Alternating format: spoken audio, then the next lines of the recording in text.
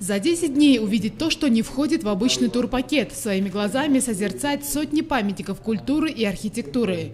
Путь туристов, историков и краеведов лежал через турецкую Каппадокию, Стамбул, азербайджанский Баку и Шекки. Все эти страны находятся на территории Великого Шелкового пути. По такому маршруту еще никто не путешествовал. Тур очень тяжелый, очень тяжелый. Я вот вчера один день, просто пользуясь тем, что в Чемкенте, пошел и с семьей провел.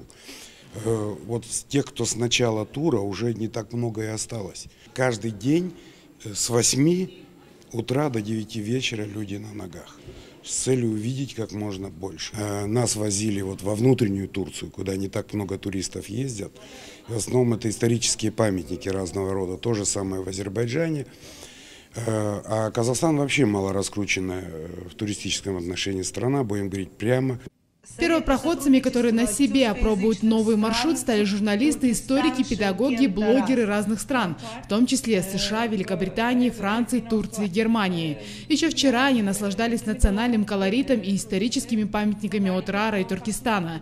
Именно эти города и плюс Шимкент, Алматы и Тарас планируется закрепить в туристическом маршруте. Путешественник из Германии Мартин Леджнун все еще под впечатлением.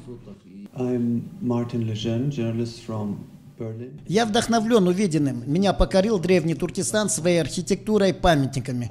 В городище Атрар я словно перенесся в прошлое. Очарован я и необычной природой. А еще запомнились верблюды. У нас в Германии увидеть такое животное – большая редкость.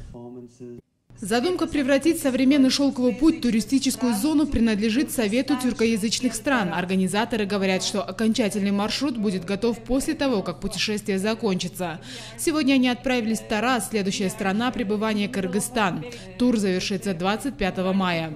После этого первым делом появится сайт. У туристов будет возможность выбрать и адаптировать его под себя. Обещают, что цены на билеты будут доступными.